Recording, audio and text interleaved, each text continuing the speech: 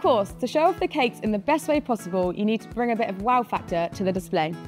Here are my favourite hints and tips to make your counter really pop. The Jenga method is all about playing with angles and levels.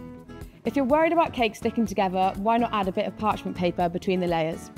Customers love a variety of cakes, so you can mix and match whatever you have in your freezer. Remember to use a variety of colours and sizes on different levels.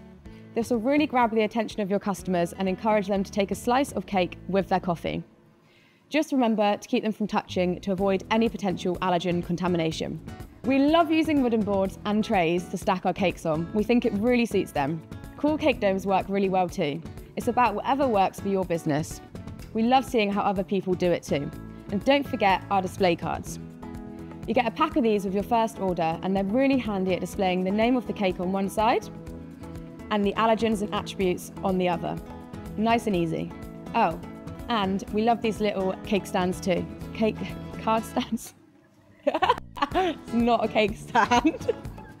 and don't forget about our card stands too. You can get these on our website.